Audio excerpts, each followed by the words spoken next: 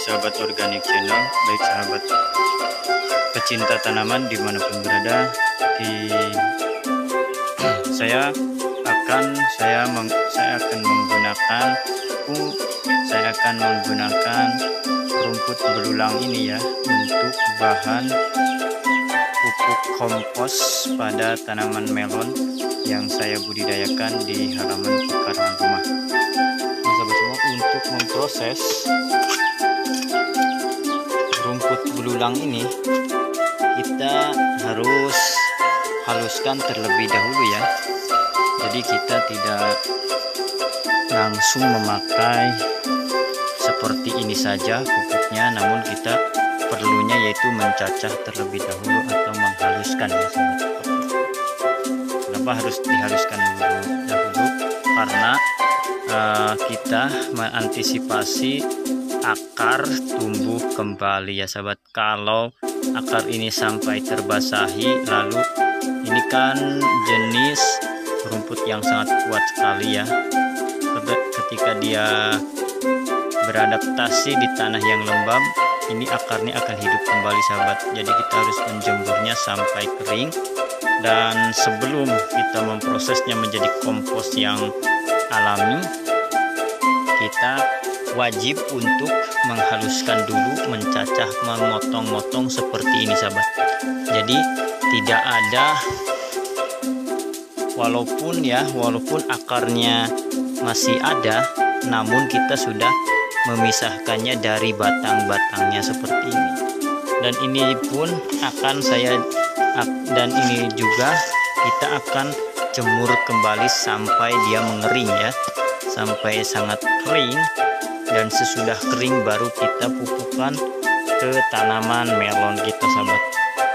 Karena rumput belulang ini banyak manfaatnya sekali dan protein nutrisi yang terkandung dalam rumput ini ini bisa kita buat pupuk POC juga melalui rumput belulang ini sahabat ya inilah jenis rumput belulangnya.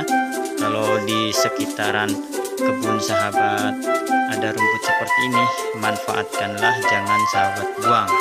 Seperti itu. Karena apa? Karena manfaat dari rumput belulang ini bisa menstabilkan dan bisa menyuburkan tanaman-tanaman kita sahabat.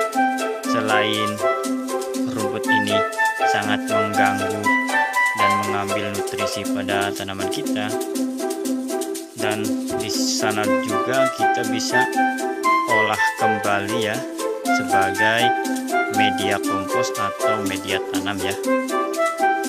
Dan bisa juga kita buat membahan pupuk POC organik dari rumput belulang ini. Nah itulah penjelasan dari saya petani organik. Semoga sahabat semua terinspirasi atas adanya channel yang saya kembangkan ini. Semoga apa yang saya lakukan di di hari ini ada manfaatnya untuk para sahabat pecinta tanaman di mana pun berada. Kalau dihitung jumlahnya ini sangat banyak sekali ya. Ini saya dapat satu wadah namanya pengki nah ini yang paling besar.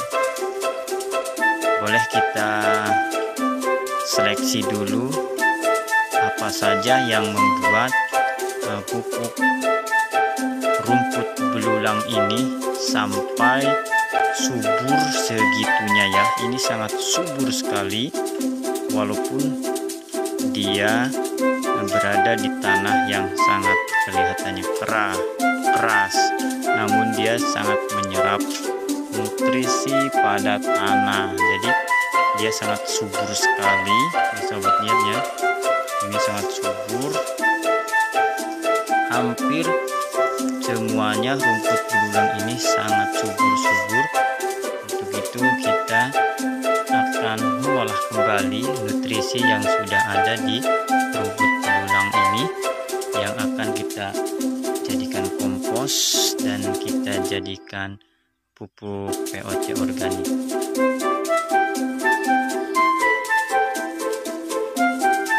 Nah mungkin saya cukupkan sampai di sini. Bila ada penjelasan yang kurang mengenai silahkan hmm, bila bila ada penjelasan yang kurang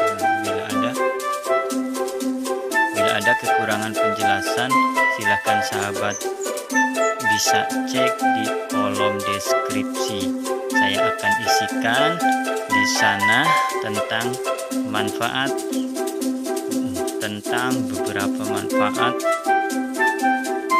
rumput belulang ini. Terima kasih.